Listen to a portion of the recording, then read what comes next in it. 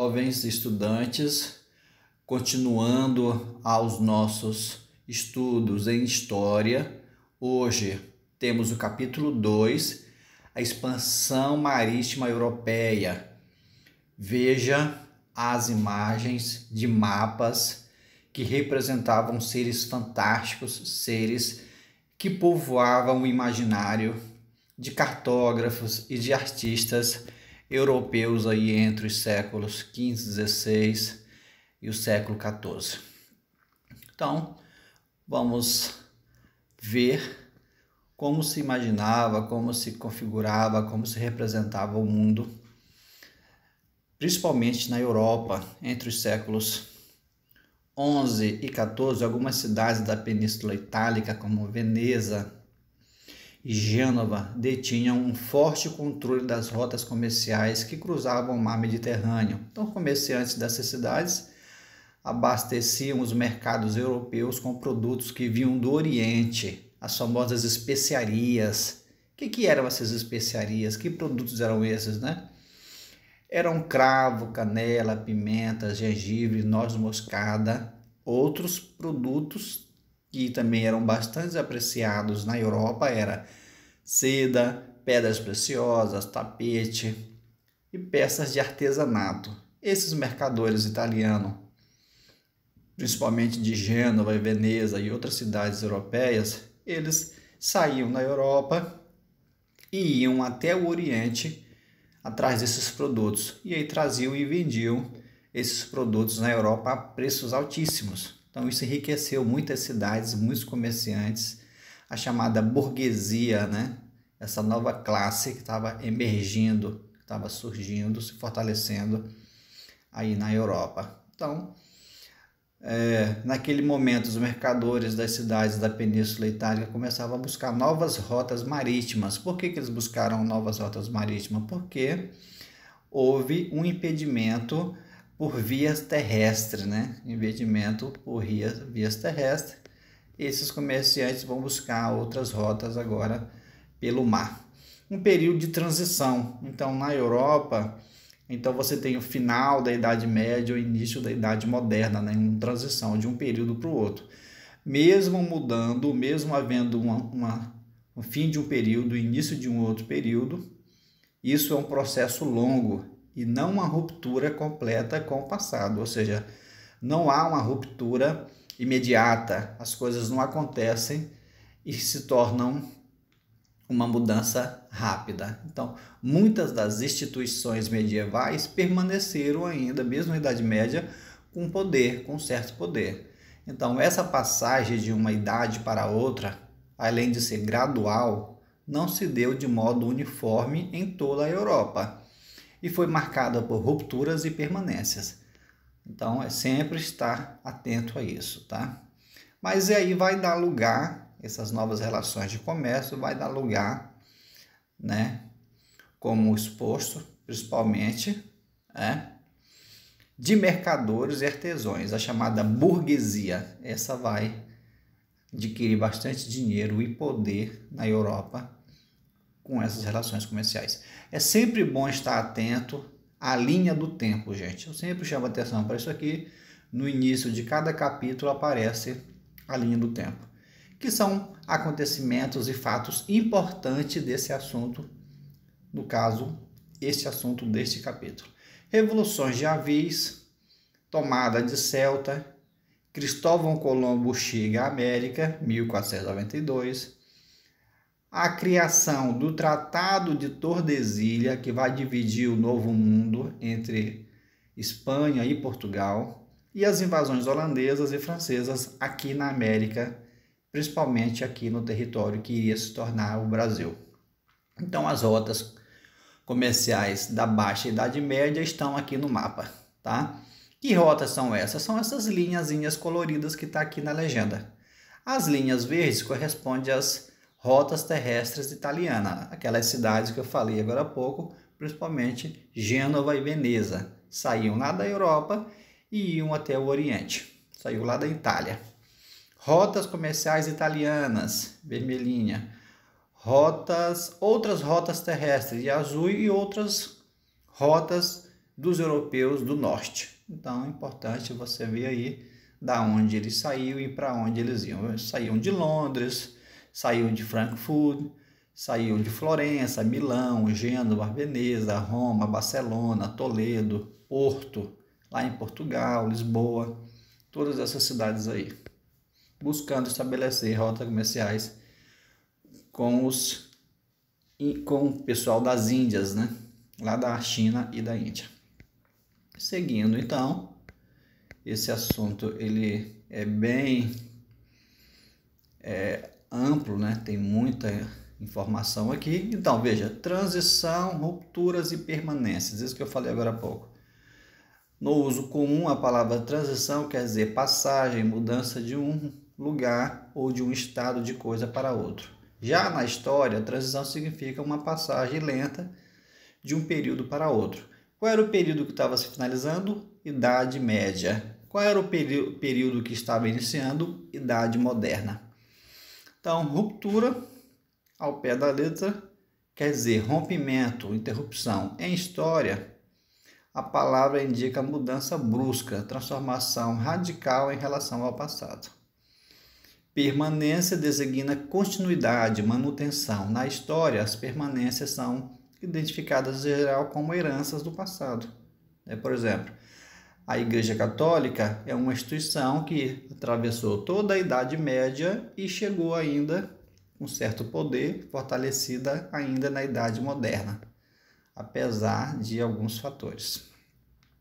Então você tem aí, com o fim da Idade Média, chamados tempos modernos, o início da Idade Moderna, ou seja, toda uma transformação na política, na, nas relações de comércio, nas relações de poder, né?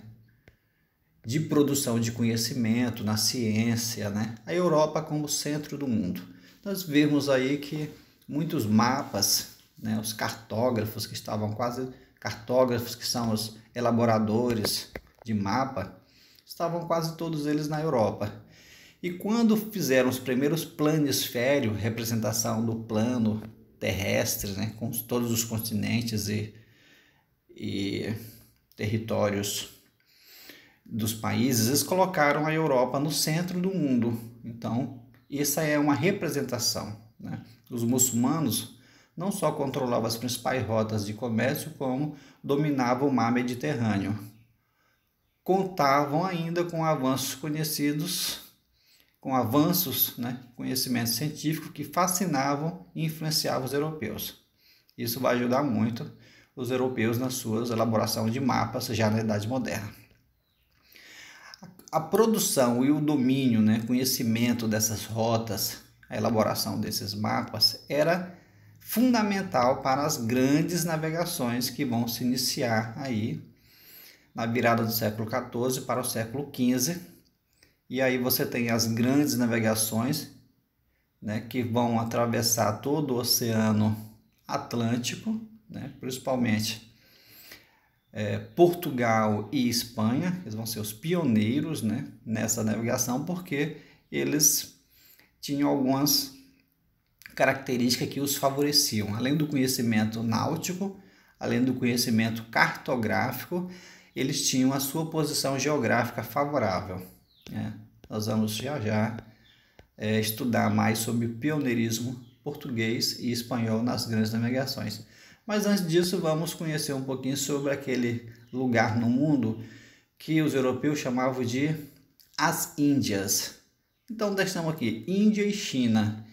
A Índia e a China das civilizações orientais entraram nas rotas de expansão europeias, que se iniciou no século XV. Ambas foram alvos dos interesses europeus por seus produtos e riquezas, que eu já falei agora há pouco, as chamadas especiarias, além de produtos de luxo. Então se estabeleceu a chamada Rota da Seda. Então veja aqui a localização no mapa Lá do lado superior esquerdo a Europa, e embaixo a África, e aqui em cores vermelho e laranjado a China e a Índia representados aqui nesse mapa. Né? A Índia a antiga, então período védico, então aqui são períodos da história da Índia. período védico, né? Período dos Vedas, são os livros sagrados. Sabemos que a Índia é um povo multiétnico, né? Com diversos grupos étnicos, com uma crença, é, com a cosmologia muito variada, com a existência de vários deuses, né? O brahmanismo, né? Brahmanismo e o hinduísmo são duas das principais sistemas religiosos é, indianos. Vamos para cá. Então, o etnocentrismo europeu, a ideia de que os povos europeus são superiores aos outros povos. Nós vamos falar disso mais adiante. E aqui nós temos uma, uma, uma representação de uma pirâmide social indiana, né? as, as castas ou classes sociais na Índia. No topo da pirâmide social indiana estavam os brahmanes, poderosos sacerdotes mais abaixo, os Kshatriyas, grupos de guerreiro. No meio, os Vaixas, casta composta por comerciantes. E na base da pirâmide indiana, os Sudras, trabalhadores ligados a trabalhos manuais. Né? Eram párias, os Dalits, os sem castas, né? o pessoal excluído ali é, da sociedade indiana. Também haviam essa categoria. A imagem de Mahatma Gandhi, o importante líder político e espiritual indiano. Alguns textos aqui vocês terão que fazer uma leitura, porque não dá para falar de tudo, o vídeo fica iria muito longo. E aqui a China antiga. A China antiga foi composta por diversas dinastias ou reinos, né? Houve período de muito combate entre esses reinos, período dos reinos combatentes. A China que tem uma escrita também muito peculiar, formada por ideogramas, desenhos bem característicos, e a China foi durante séculos é, dominada por vários dinastias, por vários reinos, até ser unificada e se tornar um único território, imenso território chinês que é hoje. Aqui nós temos também uma representação na pirâmide social, organização social na China antiga, tá? não é a China moderna. No topo estava o governante dinástico, né? o líder político, geralmente um, um rei, um imperador, abaixo dele familiares do governante, grandes proprietários, altos funcionários, né? Muitos eram chamados de mandarins.